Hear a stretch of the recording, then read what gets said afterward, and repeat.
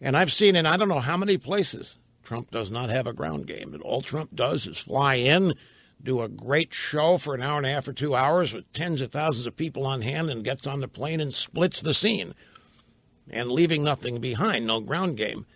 And again, this is what those of the standard, ordinary operating procedure, conventional wisdom, American politics, this is what they're saying to comfort themselves. Hey, can't Trump, Trump, Trump, he's not going to win anything. You got to ignore the polls. But no, no, he doesn't have a ground game. Trump doesn't have any campaign experts. He doesn't have any specialists. He doesn't have any people working the caucus area. He's any people working in New Hampshire get out the vote, man the phone banks. He's not doing any of that. You wait. You're going to see. The polling numbers don't mean diddly squat.